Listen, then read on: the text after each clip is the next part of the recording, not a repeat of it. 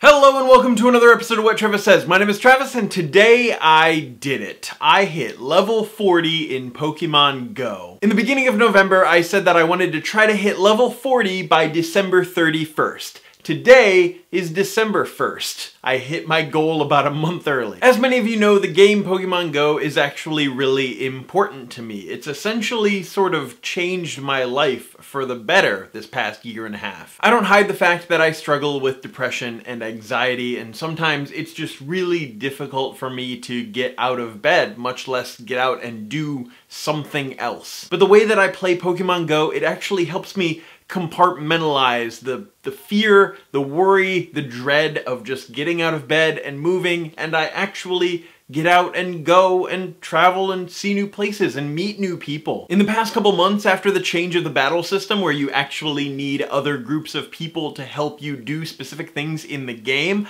I have made a whole bunch of friends that I commonly see around the city. We just meet up, we go and do the thing, we hang out, it's a great time. People that I normally would have never met if it weren't for this game. Places that I would have never visited if it weren't for this game. Now I'm by no means a Pokemon Go YouTuber, but there are a few Pokemon Go YouTubers who definitely make this game a lot more interesting even during very stale, boring, no update times. Trainer Tips, Mystic 7, Reversal, and others, they just, they put this energy into the game even when there's nothing going on and it makes people want to keep playing, keep grinding, keep achieving the next level. So right after hitting 40, one of my friends said, so now what? 40 is the max level, what are you going to do with the game now? But it's not like I'm going to just stop playing the game and my playstyle isn't really going to change either, except I might not spend so much money on incubators because